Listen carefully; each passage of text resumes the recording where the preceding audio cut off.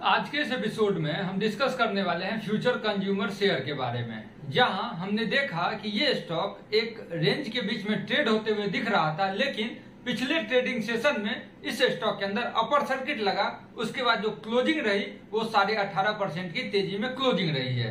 तो आखिर इस स्टॉक के अंदर तेज़ी क्यों दिखी और आपने इस स्टॉक के अंदर क्या करना चाहिए? अगर आपकी पोजीशन पहले से है और आपकी बाइंग प्राइस ऊपर की है, या फिर आप फ्रेश पोजीशन लेना चाहते हैं इस तेज़ी को देख करके तो आपको क्या करना चाहिए? आइए इस एपिसोड में जानते हैं। Hi this side Priya Ranjan and you are watching Traders Dream I hope everything is going good Future Consumer के स्टॉक में हमने देखा कि पिछले ट्रेडिंग सेशन में साढ़े अठारह परसेंट के तेज़ी पे इसका क्लोजिंग हुआ है, जिसका मुख्य कारण ये रहा है कि इस स्टॉक के अंदर जो वॉल्यूम दिखा उस दिन का, वो साढ़े चौदह करोड़ की वॉल्यूम थी।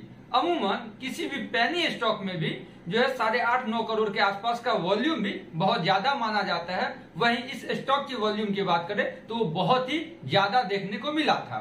उसका मुख्य कारण ये रहा था कि लगभग एक करोड़ 28 लाख के आसपास की जो है बल्क ट्रांजैक्शन देखने को मिली, जो कि बाइंग हुई। उसके बाद एक करोड़ 17 लाख के आसपास की उसी बल्क ट्रांजैक्शन में से जो शेयर था, उसको बेच दिया गया और लगभग 10 लाख क्वांटिटी की जो बाइंग है, उसको पोजिशनली होल्ड किया गया है। उसके साथ ही हमने दूसरा ट्रांजैक्शन देखा है, जिसमें कि लगभग दो लाख की क्वांटिटी रही है। ये दो मुख्य ट्रांजेक्शन थे, जिसके कारण स्टॉक के अंदर तेज़ी दिखी और इसका वॉल्यूम एक्सपेंड होते हुए दिखा है। वहीं अगर फंडामेंटली इस स्टॉक को देखेंगे तो ये स्टॉक एक विवाद में फंसा हुआ है। अमेजन और रिलायंस के बीच में ये जो जितनी भी इस ग्रुप की कंपनी है, वो पिसती हुई दिख रही है। अमेजन और रिलायंस के लड़ाई के बीच ये जो ग्रुप है फ्यूचर कंज्यूमर ग्रुप के जितने भी स्टॉक हैं, ये पिसता हुआ दिख रहा है, जिसको हमने एक अलग एपिसोड में कवर किया है। आप चाहें तो उस एपिसोड को विज़िट कर सकते हैं। वहीं अगर फंडामेंटली इस स्टॉक को देखें तो ये स्टॉक ठीक ठाक ही है, बहुत शानदार नहीं है। क्योंकि प्रमोटर्स के होल्डिंग की अगर आप बात करें तो इस स्टॉक के अंदर प्रमोटर की होल्डिंग मात्र 14 परसेंट की है, जिसमें से कि 88 परसेंट की होल्डिंग प्लेज है, जो पहले क्वार्टर में पंचानवे परसेंट था उसको कम करके 88 परसेंट के होल्डिंग को प्लेज रखा गया है। वहीं इस स्टॉक के अंदर जो एफ़ की होल्डिंग है, वो लगभग 9 परसेंट के आसपास है। फंडामेंटली, ये कंपनी बहुत ही अच्छी नहीं दिखती है ठीक ठाक ही है।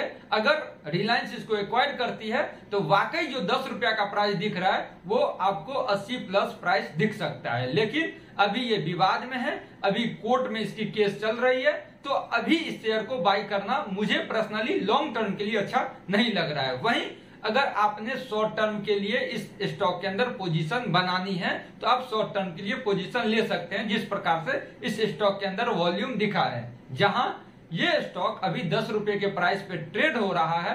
वहीं अगर आप फ्रेश पोजीशन लेना चाहते हैं तो साढ़े आठ रुपए के स्टॉप लॉस को फॉलो करें और जो टारगेट रहेगा अगले एक से डेढ़ महीना के लिए, वो सोलह प्लस का टारगेट रहेगा। वहीं अगर कोर्ट से कुछ पॉजिटिव न्यूज़ आती है तो ये स्टॉक आपको 40-45 के ऊपर भी ट्रेड होते हुए दिख सकता है। इस बात को मैं नकारता नहीं हूँ। वहीं शॉर्ट टर्म में जो इसका जो आरएसआई है, वो ओवरबाउट है, चूँकि इसका वॉल्यूम बहुत ही ज़्यादा था।